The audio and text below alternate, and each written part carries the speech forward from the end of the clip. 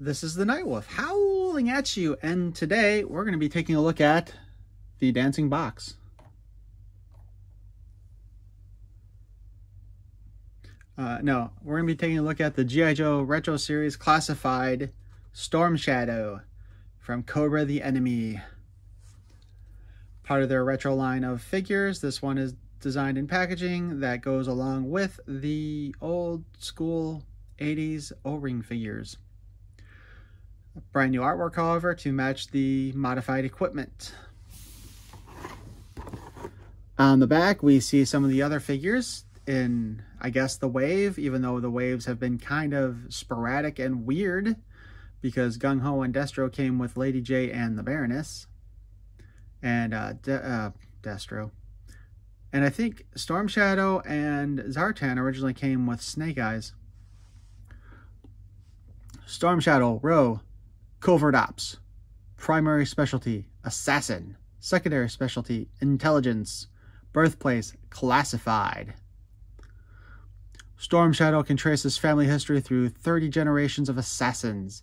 He can scale sheer walls with bare hands and feet and move with blinding speed. However, that's not all we have to talk about with this guy, because I do have one of the old file cards from one of the reissue lines, which is kind of funny because this one actually is um, when he was part of the G.I. Joe team, even though he's still in a Cobra uniform. Ninja, codename Storm Shadow. Uh, they've got his social security number, then file name, Aragakashi, Arasha, Arashikage, fuck. Ninja, codename Storm Shadow. SN, not gonna read it. File name, Arashikage, Thomas S. Primary military specialty, covert operations. Secondary military specialty, martial arts instructor. Birthplace, St. Louis, Missouri. Why? How? I know, I, have seen parts of the comics where uh, they refer to him as Tommy, and I think this was before Cobra and G.I. Joe when they did a flashback, as I've I've kind of flitted around the comics every, so often. Haven't actually totally gone through and read them yet, though. Storm Shadow comes from the same long-range recon patrol outfit as Stalker and Snake Eyes. He also comes from a family of ninja who he rejoined after serving his time in Southeast Asia. The head of the ninja clan, the Hardmaster, Storm Shadow's uncle, was destroyed. The perpetrator was believed to be Storm Shadow himself. Storm Shadow knew otherwise and took off in pursuit of assailants. This eventually led him to the terrorist organization known as Cobra. Storm Shadow infiltrated the organization, serving as Cobra Commander's personal bodyguard until he could discover the truth surrounding his uncle's death.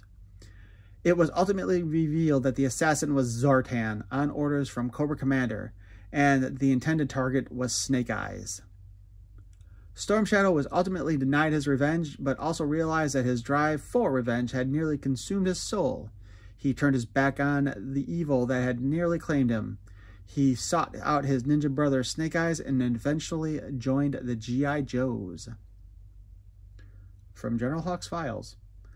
In his own way, Storm Shadow is just devastating a warrior as Snake Eyes. However, Storm Shadow seems to prefer the more traditional, even ancient methods of combat, using the tools of the ninja as opposed to modern hardware.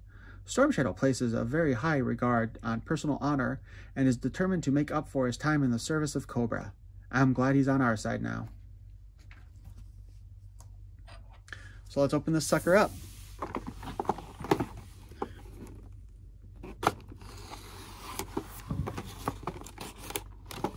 You know, it kind of, well,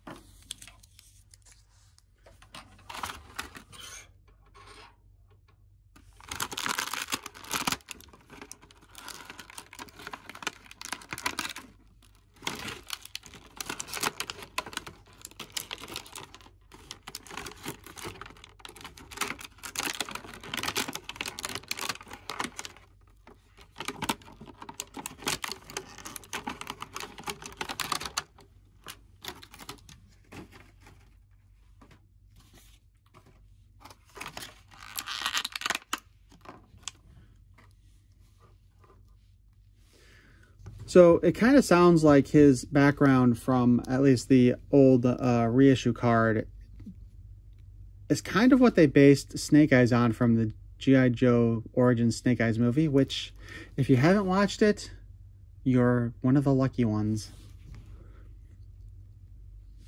Anyway, Storm Shadow here. Let's uh, take a look at his articulation. Again, we know what Storm Shadow kind of looks like from the comics. Even if you don't want to use like the movie style head, which definitely I would prefer not to. It would have been nice if they had given us an unmasked head for him to go along with it. But they didn't. So his articulation on the neck is the usual chicken neck, although he does have this um, representation of a hood being down, which not really necessary on this figure since they didn't give him the hood up. But he can look down, up, off to the side, chicken neck again, spin around the head and cause the uh, hood to move around. Ah, you can even put it down this way if you want. To be honest, I think that almost looks better than the other way. At least from the front. From the back, it looks stupid. He's got the butterfly joint here. And we can move his arm up and down and up and down. And we can spin it around. The way the joint here uh, for the butterfly joint, since they simulated the cloth being kind of cut on the side, does, however, hinder the movement around. So you actually have to pull the arm out to do it. He's got the bicep cut, double jointed elbow, and the plastic on the elbow itself is a different color than the rest of it, probably a harder plastic as well. he's actually got a forearm spin in this case, mostly because it looks like the um, wraps on his arm are a separate piece. So that gives us a forearm spin. We also got the hand spin. And we have the up and down articulation for the wrist on these ones. That is kind of a unique, uh, unique bit though. Kind of makes me wonder how many of these figures, um, how many of these figures have uh, forearms like that.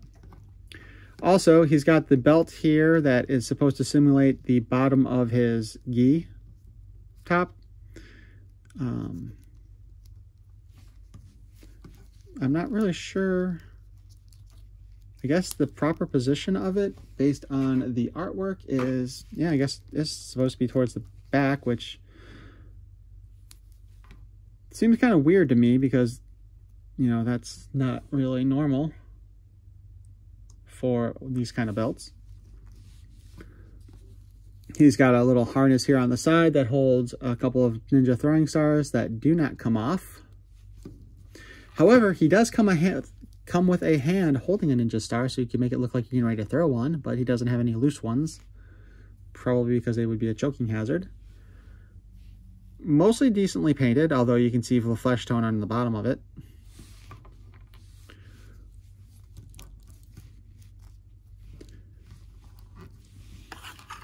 And he does come with a Cobra embossed figure stand.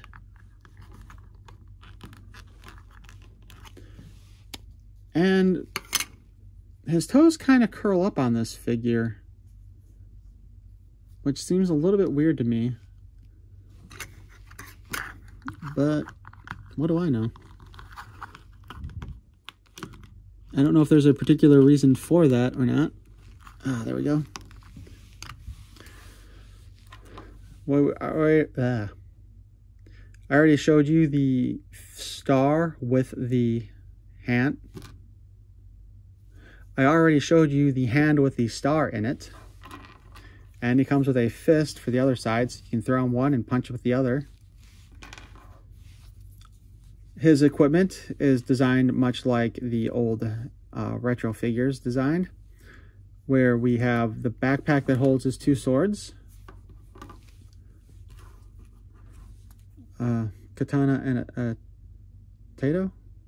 Tanto? He's got his two swords here. Uh, one is longer than the other, as they did with the G.I. Joe figures back in the 80 for him. Though he does have on his blades a snake design to it on the handle.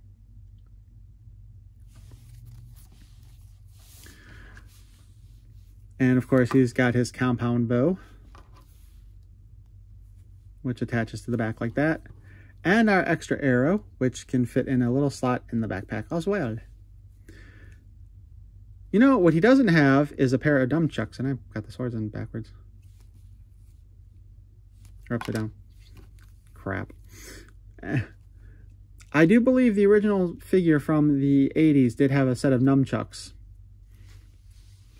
And the backpack can, of course, fit on his back here. And this is actually the same equipment that comes with uh, Vypra. Comparison-wise, I do have the Storm Shadow figure that came with that file card I read earlier. Obviously, this one was a reissue for one of their uh, anniversary ones. He does have an extra, this version has an extra knife in his belt and a star. Maybe you can see it there, but not on the actual thing going across his chest, which I guess technically is supposed to be holding his uh, equipment back.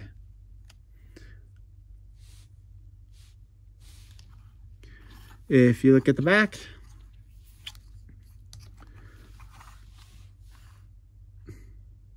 the the one for classified is actually the exact opposite of the one for the old vintage one.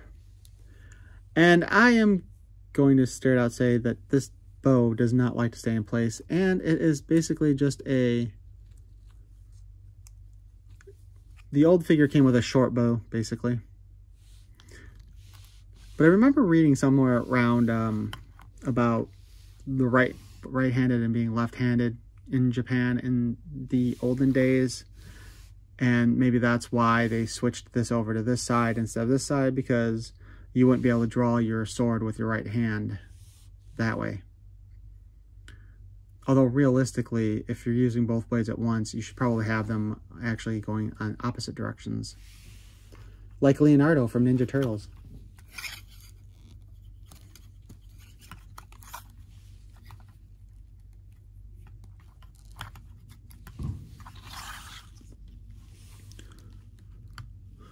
And of course, he can hold both of his uh, sword blades like so.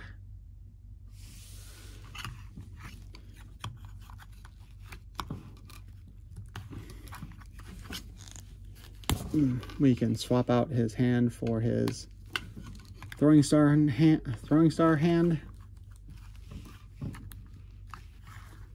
Sha! Sha! I don't know if that's right sound effect for that. But we can also have him hold his bow in his gripping hand. For gripping hands.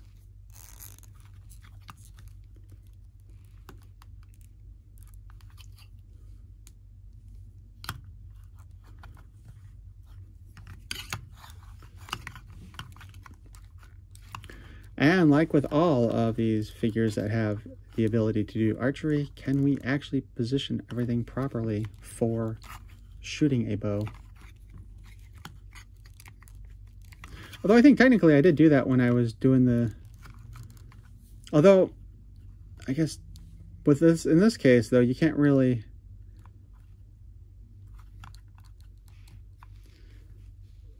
Since this isn't really designed very well for him to be pulling it back. And if you try to pull, pull it all back.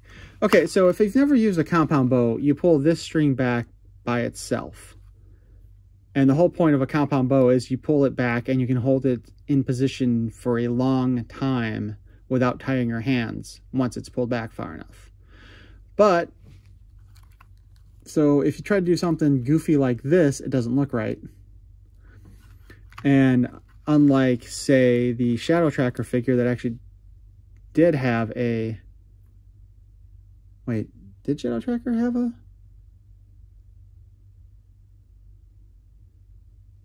You know what? I don't remember. There's some figure I did recently that actually had a string on the bow, and I don't remember what figure it was. Oh, that was Willa from Thundercats. So yeah, basically none of these figures are designed to look like they're pulling the bow back. So it would be kind of nice if they had included a second bow with it pulled back, especially if you're going to have the arrow. Because at best, all you can do now is kind of make it look like you're getting ready to uh, knock the arrow to, to shoot it. So anyway, overall, the retro card back figure looks pretty nice. Uh, I know there are very few differences between it and the classified standard figure. The main one being that there are some color differences. Uh, I believe his hands are actually gloves in that version.